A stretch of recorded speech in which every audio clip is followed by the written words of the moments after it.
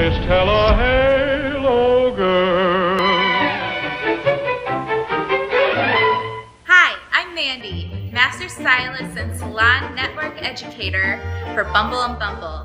And today I'm going to teach you how to do a messy, beachy, wavy look. First, spray Bumble Thickening Spray at the roots for body and fullness. Then, spray Bumble Surf Spray at the ends for that just off the beach feel. Make sure to really press the product into the hair.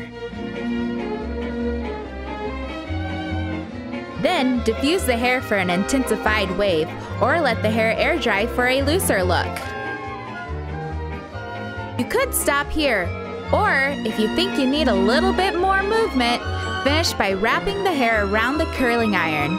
Do it away from the face and areas that need a little something extra. Add some more surf spray at the end for hold and shake it out. Now your hair looks and feels like you just got off the beach, bro. You can always tell a halo girl.